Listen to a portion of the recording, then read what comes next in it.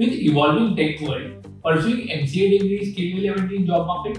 Yes. As per national education policy, we have revised this syllabus and we have covered the various upcoming technologies like artificial intelligence, blockchain, cyber security, and data science. So that's why the MCA course is still relevant in the market.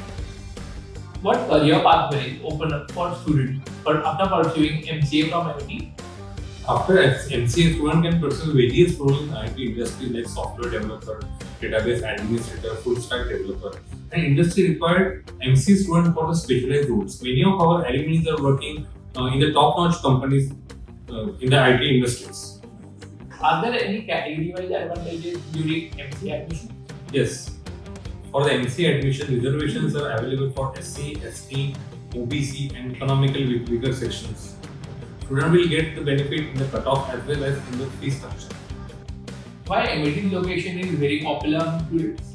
MET is situated in the heart of Mumbai city.